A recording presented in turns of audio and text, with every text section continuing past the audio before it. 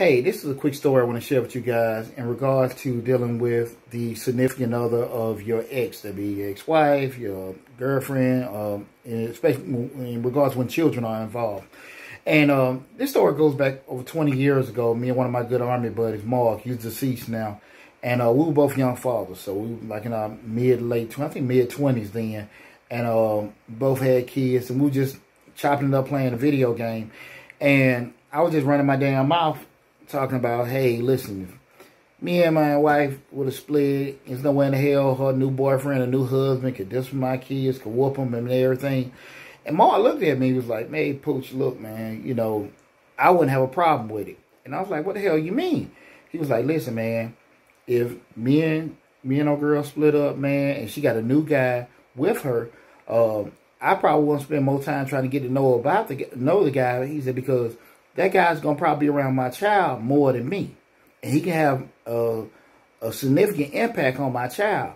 So I probably want to make sure he's a good guy and things like that. So if, if it is issues with my son, yeah, he can call me, but some things might be taken care of right now, especially with her, you know, and, and they serious and everything.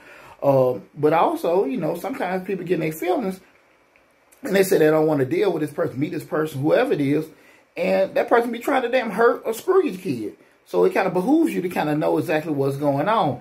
Um, keep in mind, we was in our 20s, so our maturity level was limited in regards to just, you know, parenting and looking at life things. But I wanted to share that. King, uh, my man Marv, man, he was a real wise brother, man, and, and I miss him a lot. But that was that was some real stuff what he told me because, again, people spend too much time uh, focusing on, you know, the situation that they apart from, men and women, and they feel like, okay, that's what you're dealing with. I ain't got to deal with it. But again, that person, that, that new person, and they can be uh, can have a greater impact on your child than you for the simple fact they probably may be around your child more than you. So I just want to share that with people because again, sometimes we do get in our feelings, and you, you can't control how that new person wants to talk to you or not. You can't control if your uh, your ex wants you to even have a conversation with them or not. You can't.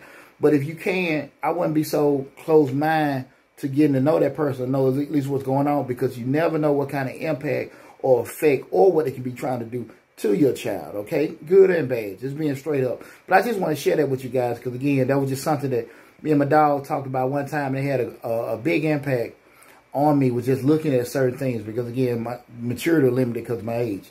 But I hope that helps you guys uh, out there if, you know, you're in a situation like that or thinking about it.